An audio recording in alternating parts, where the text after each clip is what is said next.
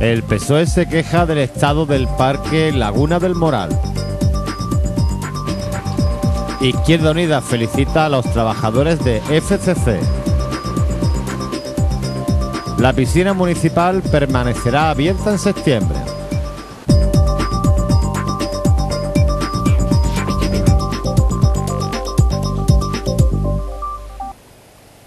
El mal estado en el que se encuentra el Parque Laguna del Moral ha sido de nuevo el centro de las críticas por parte del Grupo Municipal del PSOE, que ha salido a los medios para volver a poner en evidencia la falta de atención que desde su punto de vista el equipo de gobierno presta a este parque. Según declaraciones de los socialistas, hay más de 40 árboles secos en el parque y el lago se está vaciando, por lo que este grupo de la oposición ha querido llamar la atención de los responsables políticos para que actúen en este equipamiento que prácticamente desde el principio, cuando se inauguró a medias, ha suscitado críticas y quejas de los vecinos que incluso han colaborado con el riego de algunas zonas del parque. Ha sido la concejala del PSOE, Laura Almisas, la que ha señalado las ya conocidas deficiencias del Laguna del Moral, como la falta de servicios públicos o de iluminación, a la que se suma la falta de mantenimiento del lago, con unas consecuencias que no solo afectan a los vecinos,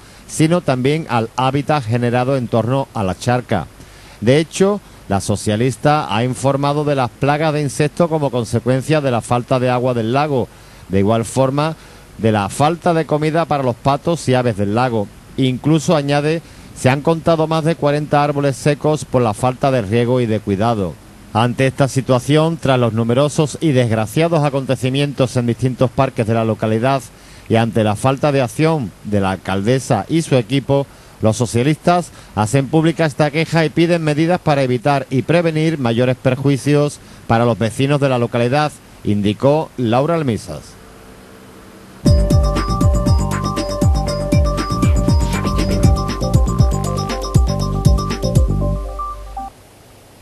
Tras la finalización de la huelga de basuras que concluía el pasado viernes 10 de agosto a las 3 de la tarde,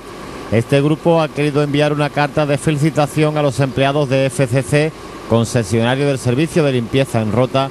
con el fin de hacer pública su posición ante este conflicto laboral y poner de manifiesto el respeto hacia la plantilla.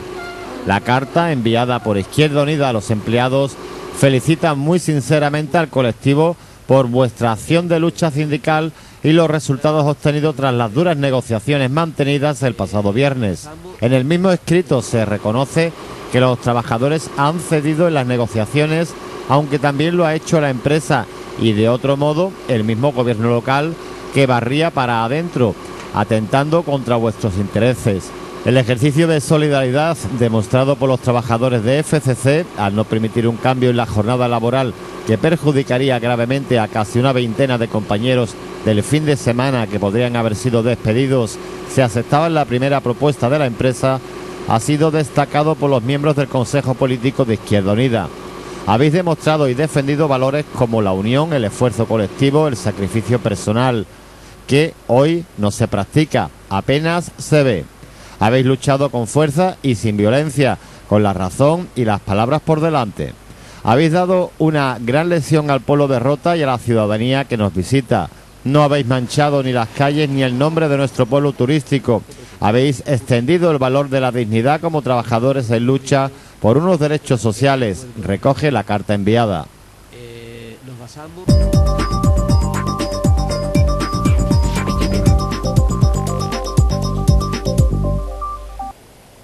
La piscina municipal estará este año abierta durante la primera quincena de septiembre, a diferencia de lo que venía ocurriendo veranos anteriores en los que los trabajadores de puesta a punto de este equipamiento deportivo se llevaban a cabo una vez terminado el verano y en esta ocasión se harán durante las vacaciones de Navidad. De este modo se aprovecha la bajada de usuarios y de asistencia que se detecta en la piscina en la época navideña para ponerla a punto y se da respuesta a una de las sugerencias realizadas en esta línea por los usuarios de la empresa municipal Arensa que se encarga de gestionar la instalación. Además, teniendo en cuenta la posibilidad de realizar ciertos trabajos de mantenimiento en las horas en las que la piscina está cerrada en verano, a lo largo de este mes la empresa municipal Arensa, que dirige la teniente de alcalde Montemayor Lainez, ya se han llevado a cabo labores de puesta a punto de la piscina que se intensificará el fin de semana del 1 y 2 de septiembre, cuando la instalación estará cerrada al público para retomar su actividad el mismo lunes 3 de septiembre, dejando atrás los cursos de verano y comenzando con los cursos y actividades previstas para el 2012-2013. Los trabajos se completarán con las actuaciones que puedan generar más molestias o llevar más tiempo que se desarrollarán coincidiendo con las vacaciones navideñas y que terminarán de poner a punto esta importante instalación deportiva de cara a la temporada de invierno.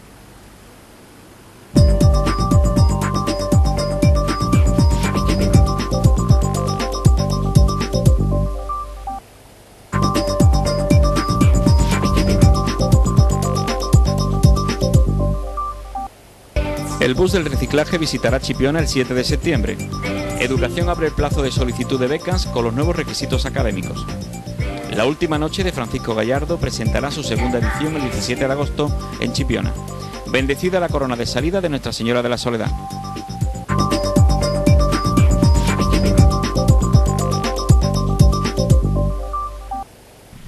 El bus de reciclaje a través de la cual la Consejería de Agricultura, Pesca y Medio Ambiente de la Junta de Andalucía, junto con la Federación Andaluza de Municipios y Provincias, FAMP, y con la colaboración de los sistemas integrados de gestión Ecoembes y Ecovidrio, fomenta la sensibilización con el reciclaje de los envases y la prevención en la generación de los residuos, visitará Chipiona la víspera de la Virgen de Regla, el 7 de septiembre. Desde la Junta se anima a los ciudadanos a conocer esta iniciativa donde podrán participar en diferentes actividades de educación ambiental. Su objetivo es encaminar a hábitos que conlleven la mejora de la calidad del medio ambiente, como la reducción y el reciclaje de los residuos de envases, bajo la premisa de que el mejor residuo es aquel que no se genera. Las actividades del bus están dirigidas tanto a los vecinos de los distintos municipios como a entidades, asociaciones, escuelas de verano y de adultos, organizaciones profesionales y empresas de los distintos ámbitos.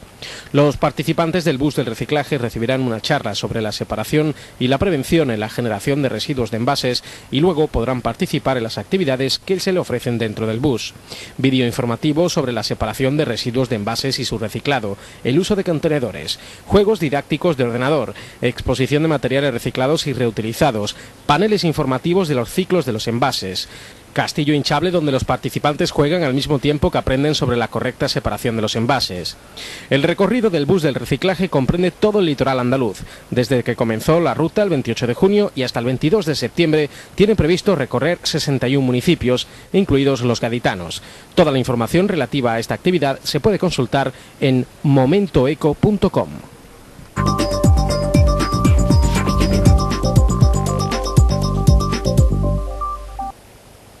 La Delegación Municipal de Educación ha informado que el Ministerio de Educación, Cultura y Deporte ha abierto el plazo de solicitud de becas para el curso 2012-2013 para alumnos de estudios posobligatorios, estudios superiores no universitarios y universitarios, con los nuevos requisitos académicos para acceder y mantener estas ayudas, según publicó el martes el Boletín Oficial del Estado en dos resoluciones, una dedicada a las enseñanzas no universitarias y otra a las universitarias. Además, en el BOE se han publicado los nuevos precios de la UNED, la Universidad de Educación a Distancia, tanto de matrícula como de otras gestiones, que entran en vigor este curso 2012-2013.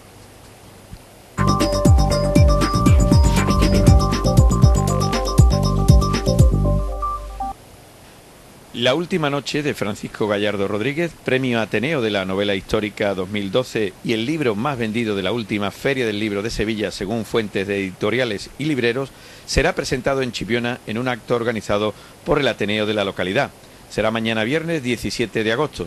El libro ha sido ya presentado en Sevilla, Madrid, Barcelona, Valencia, Santiago de Compostela, Huelva, Oviedo y Bilbao, siendo Chipiona el lugar elegido para llevar a cabo la primera presentación tras lanzarse la segunda edición. En esta ocasión, el acto se realizará en el Castillo de Chipiona a las 10 de la noche con entrada libre y gratuita hasta completar aforo. El acto será conducido por el director de la Radio Televisión Municipal de Chipiona, Cristóbal Ruiz, mientras que el libro será presentado por el profesor y periodista Juan Mellado. Se trata de la segunda novela del autor tras el éxito del rock de la calle Feria, que también fue presentado en Chipiona, y La Última Noche es un libro sobre la medicina y la mujer en la España musulmana, editado por Algaida. Este autor sevillano del barrio de San Lorenzo, que asegura escribir porque no quiere olvidar lo que tiene en la memoria, se remonta a la mitad del siglo XII entre Sevilla y el norte de África. Sara, la protagonista, es una anciana que decide escribir las memorias de su juventud, momento durante el cual aplicó la medicina a las mujeres de Sevilla y Marrakech. En la novela aparecen personajes históricos como Averroes, a quien conoce la protagonista en su estudio sobre la medicina.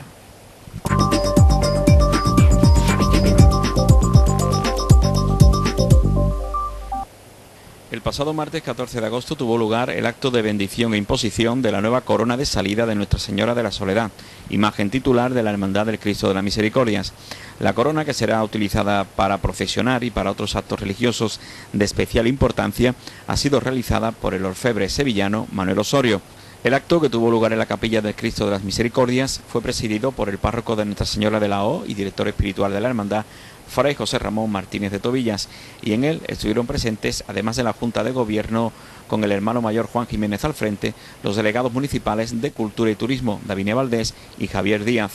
El cuerpo de la Guardia Civil, en la persona del subteniente Guillermo Caña, también impuso a Nuestra Señora de la Soledad la medalla de su patrona, la Virgen del Pilar.